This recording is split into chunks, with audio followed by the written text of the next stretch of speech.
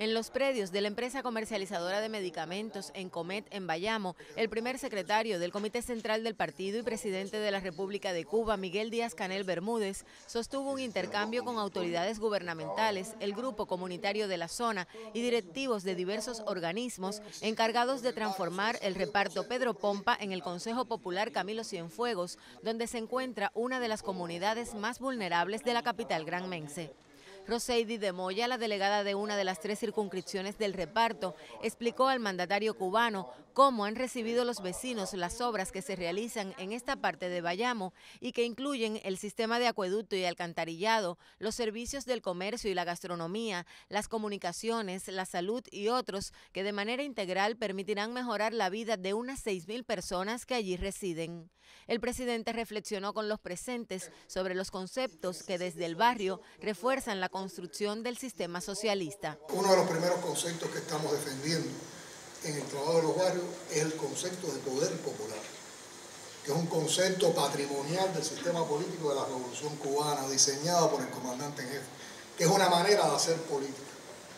porque es una manera de hacer política? Porque es un, es un sistema que se basa con la participación popular y con un amplio espíritu democrático en buscar la contradicción de los problemas que tenemos, en encontrar las causas de los problemas que tenemos.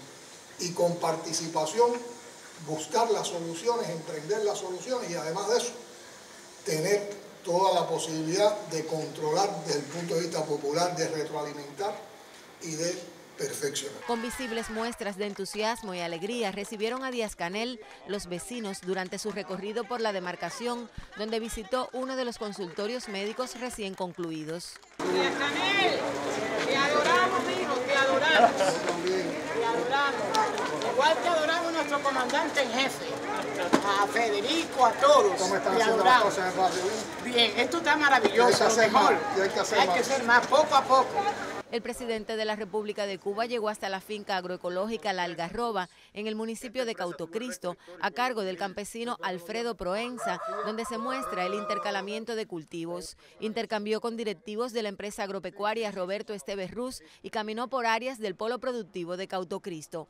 En el diálogo, Díaz Canel se interesó por la implementación de las 63 medidas que permitirán desarrollar la agricultura en el país y por la reacción de los ganaderos con el aumento del precio de la leche para beneficiarlos. Hoy esta empresa tiene capacidad para cebar 10 mil toros y tenemos 5 mil porque lo he explicado. La gente, la tendencia fue a cebar toro y dejó de producir leche, pero ahora incrementó el precio de la leche y ya los productores, el negocio, como el precio de la leche está muy bueno, es a incrementar la producción de leche y nosotros para mitigar esto con las políticas que aprobó el país que empezamos. Tenemos 2.000 vacas en cría en estos bebés de aquí. Tenemos 1.000 búfalos también aquí que producimos leche. Tenemos 1.500 ovinos también equinos y nos diversificamos la producción. Incluso la empresa Tropical Contramestre entregamos más de 1.000 toneladas de cultivos varios precio de la leche es un beneficio para nosotros. Porque el precio de la leche es la leche todos los días, pero se va a un toro. Es de 24, y, 36 lo más importante, a ver, habría que ver el criterio de los productores, pero yo creo que un productor lo que tiene que estar es diversificado. Tiene que producir leche, tiene que producir carne y tiene que producir cultivos varios también. Para que tenga de todo y así no va a tener tiempo malo. Ahí siempre va a tener salida con algo. Así mismo.